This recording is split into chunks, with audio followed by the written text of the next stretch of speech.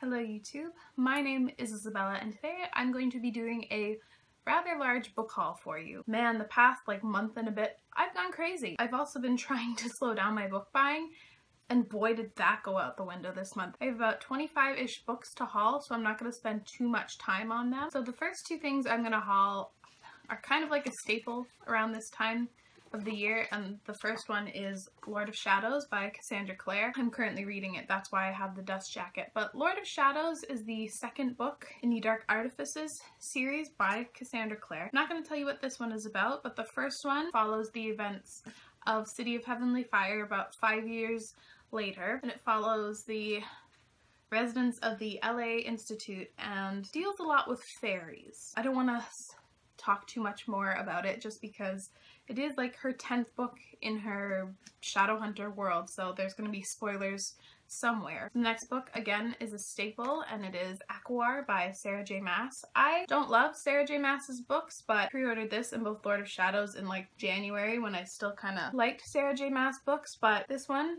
obviously is the last one in the Aquar trilogy.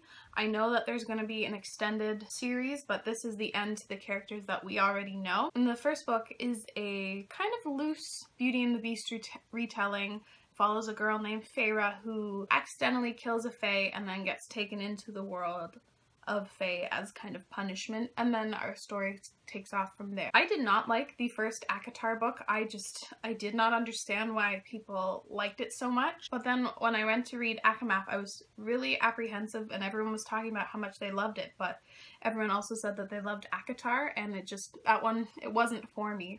And I read ACOMAF, really, really liked it. And so I'm interested to see where I fall on the spectrum of ACOWAR. The next book I have to haul is actually a super exciting book and it is called The Space Between the Stars by Anne Corlett. This is actually an ARC. I won it via a Goodreads giveaway and it's coming out June June 13th and by the time that this haul goes up I should have already read and reviewed this book. This one is about a girl who's always wanted to go to space. She's always wanted to leave Earth. Earth is super overpopulated and she just doesn't want to be there. And so she travels to another planet and I think is just working there. And then Earth basically, like, I think either gets blown up, destroyed, something like that. And then she's kind of alone. And then I believe she tries to find to see if she's if she's not the last human, if she can find some remains of humanity and I'm really excited to read this and I've, I've never owned an ARC before like I this is my first ever one so I'm very excited and intrigued to see how this goes. Quite a few weeks ago I put an order in at Book Outlet because they got a book that I've been waiting for. It's popped up on their website before but anytime I go to buy it it's just it's always sold out so and the book I got was The Rose and the Dagger by Renee Ahdieh. This is the sequel to The Wrath and the Dawn and The Wrath and the Dawn is basically a Thousand and One Night retelling. I just plan on like marathoning them both through because I think these are supposed to be pretty quick and easy reads and I'm pretty sure that The Wrath and the Dawn follows a like or ends on a huge cliffhanger so I've been waiting so long to get it and I got it and I'm just I'm very happy.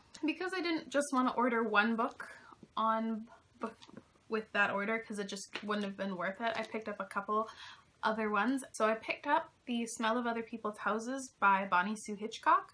This one has been making the rounds a bit on booktube. I think there's a couple booktubers who have been reading it. I know that this is a very slower paced story that follows, I believe, four different perspectives and they live in Alaska and I think they all have hard lives for different reasons. I think it's supposed to be one of those heart-wrenching reads maybe I I'm not entirely sure but I'm really intrigued by this book and it's pretty short so I think I can I hope I get to this one soon. One of the other books I grabbed was Salt of the Sea by Ruta Sepetys. Ruta Sepetys is really popular on booktube but I'm not the biggest historical fiction fan. All I know is that it's supposed to be heartbreaking historical fiction following probably not a well-known event in history I knew what it was about years ago, but I just, I don't remember now. Last thing I ordered from Book Outlet was this box set, and it is the Search for WondLa, or the WondLa,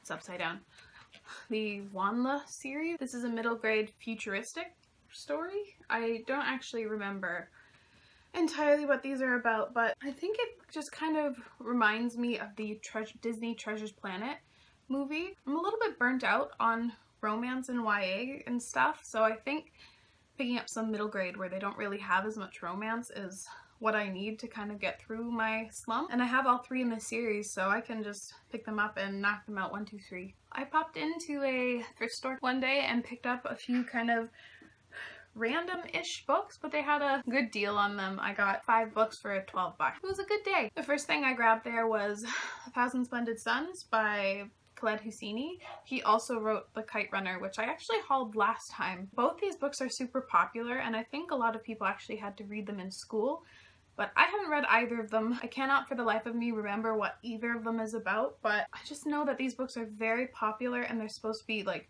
really sad, so we'll see when I get to them. This one I'm going to talk about quickly. It is the Percy Jackson and the Last Olympian.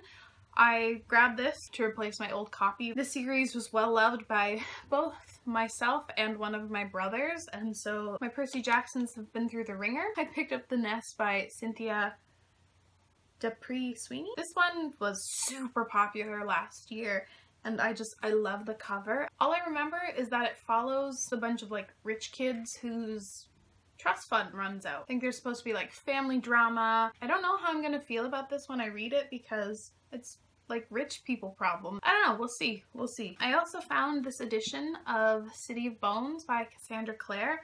I don't know where I've been, but I've never seen this edition before. Kind of, I guess, a collector's edition. I like this cover way better than the original. This was a an exciting find for me.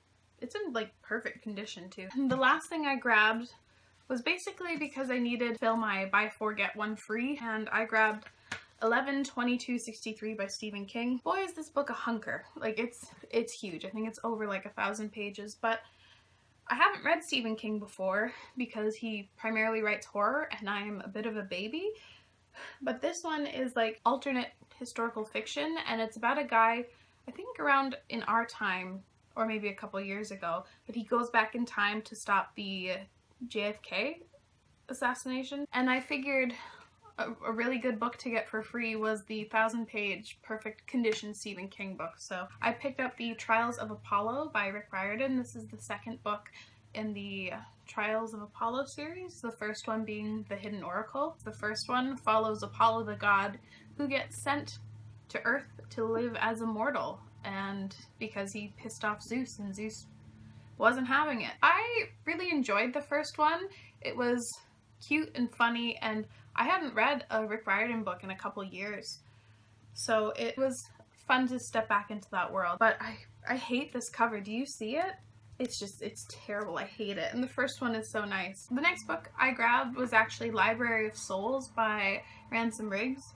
And as you can see, I basically picked it up because it was 40% off and they just came out in paperback. I thought the first one was okay and I was kind of iffy on whether I was going to read and finish off finish off the series, but told myself I'm reading Hollow City this summer. It kind of has split reviews on booktube. Some people really, really love it, but then others don't. The next two books I got in I got in owl crates and this one was April's and it's The Upside of Unrequited by Becky Albertalli. I read Simon versus the Homo sapiens agenda maybe in January and I really enjoyed it. I love that there was like a fluffy, cute, gay contemporary romance and there was nothing really more added to it. It was just it was just a nice cute story. I'm interested to see how I feel about Upside because again it seems like a fluffy cute contemporary but actually follows a chubby girl, a fat girl. I don't know what I should call her but she's had something like 26 crushes but never really done anything about that. But I think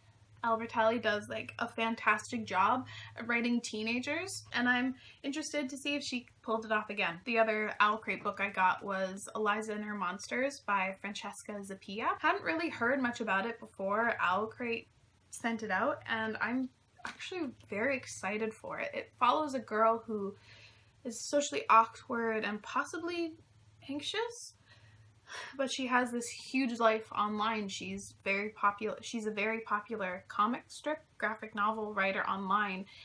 And then a boy moves into town and he is the biggest fanfic writer for her comic series. I think it just follows awkward, cute nerdy love. The author also said that this book was kind of a letter to fandom. She wrote this book for people who love things, whether it's books, TV shows, movies. If you're obsessed with something in, in the fandom, that, that this book is kind of for you. And the last set of books I have to haul, I'm very excited to show you and tell you about because I bought them at the physical book outlet store. I live about an hour away, so I've never actually been able to go to the physical store. And when I went there, it was just this just huge warehouse style thing. I thought it might be small.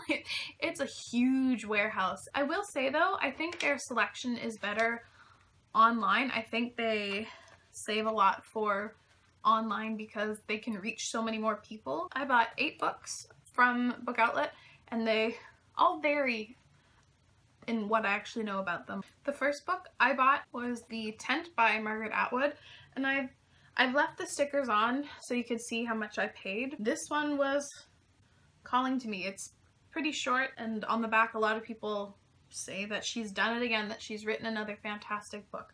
I cannot tell you at all what it's about. I just wanted an Atwood book because I've only read The Handmaid's Tale and I picked up a small one. Hard for me to justify buying these next couple books because I just love these editions of these books and it was super bad but I was at Book Outlet and I was like fuck it I wanted it so the first one I bought The Winter's Vault by Anne Michaels and these editions are called the Vintage Vintage Anchor Emblem Canada editions. This one follows a Canadian couple in Egypt. I think they like take their honeymoon in Egypt and that's all I know. It says it says on the back, vivid, sensuous, compassionate, the Winter Vault reveals the inescapability of the past, the devastation of loss, and the restorative powers of love. So this one seems like a heartbreaking and heartwarming story at the same time and I just I love these editions. The other one I bought was Digging to America by Anne Tyler. Two families that meet by chance in an airport and then they both end up living in like the same place. It deals with, I believe, racism, cultures clash, values are challenged, and the American way is seen from from the conflicting perspective of those who were born there and those who are struggling to fit in. So it just seems like a really relevant book, even though I'm not sure when this actually takes place. The last one I picked up was Arthur and George by Julian Barnes, and this one I know is historical fiction, and that's all I know. I told myself though, because I bought them, I have to read them maybe not exactly soon, but I will have to get to them. If not, you don't just get to keep the pretty books on your shelves. The next book I grabbed was Ignite Me by Tara Mafi. This one was in the Scratch and Dent. This is the third book in the Shatter Me series, and all I need now is Unravel Me, and I plan to marathon the series people on booktube are so split about this series. Some love it and some hate it. Some think the writing style is gorgeous, some think that it's unnecessarily flowery. The next book I grabbed was Liesl and Po by Lauren Oliver. This is a middle grade story. Richard from Richard's Book Nook, just it's one of his favorite books ever. He talks about how beautifully done it is.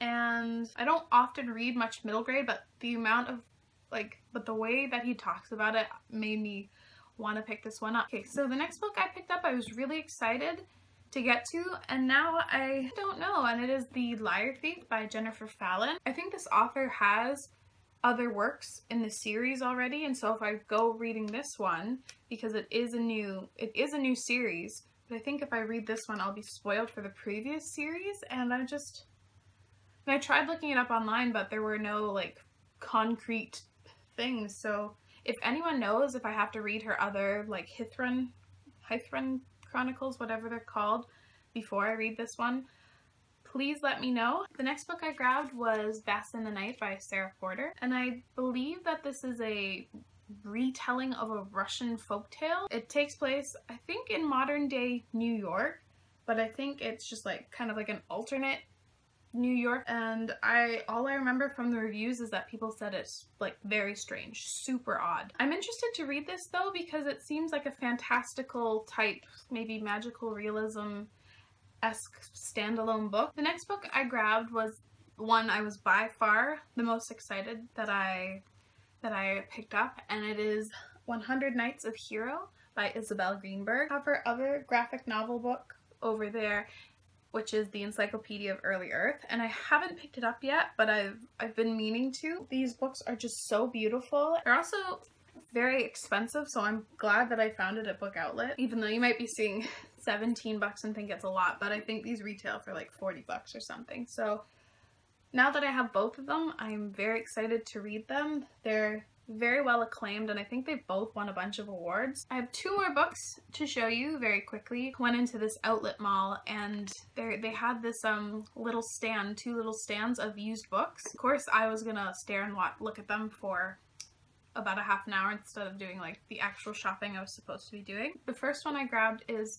Wuthering Heights by Emily Bronte and I read this when I was in the ninth grade and hated it. I thought it was garbage, but it also was the first classic book I ever read and it was one that I had to read on my own. It wasn't one where you like studied it in class, but it was one you had to read and interpret on your own and it just it was it, it was too hard for me at that time. And I when I found this, I got so excited even though I didn't really love Wuthering Heights. I do want to give this one a chance though. I have warmed up to unlikable characters. I I love unlikable characters now and that's basically the definition of Heathcliff Heathcliff and Cathy. And the final book in this haul, man did filming this take so long, but it is The House on Mango Street by Sandra Cisneros. And this one has, I've seen a couple people talk about it and it's very like classic Latina Latino fiction told in a series of vignettes like very short kind of glimpses into to one's life and it's basically about a girl who doesn't want to be a part of her poor neighborhood or like the expectations that society wants on her. She wants to be more than that. It's supposed to be very beautiful and it's super short and I also read a couple of pages while in the car on the way home and I really really liked the style that it was told in. I put myself on a book buying ban and what do I do?